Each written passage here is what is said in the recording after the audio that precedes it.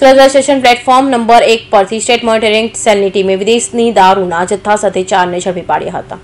State monitoring cell ટીમે બાતમીના આધારે Surat railway station platform number એક પર દરોડા પાડી ત્યાંથી વિદેશી દારૂના જથ્થા સાથે સિસાગર સંતોષ પટેલ, રાહુલ કાલો કાનોજી કૃષ્ણાબિંદ અને રોહિત જય ભીમને ઝડપી પાડ્યા હતા. પોલીસે તમામ પાસેથી દારૂનો જથ્થો, મોબાઈલ સહિત કુલ એક લાખ સડસઠ હજારનો મુદ્દામાલ કબજે કર્યો હતો જ્યારે મહેશ યાદવ, કિશોર પ્રવીણ અને પ્રમોદ ભાગે છૂટતા તેઓને વોન્ટેડ જાહેર કર્યા હતા.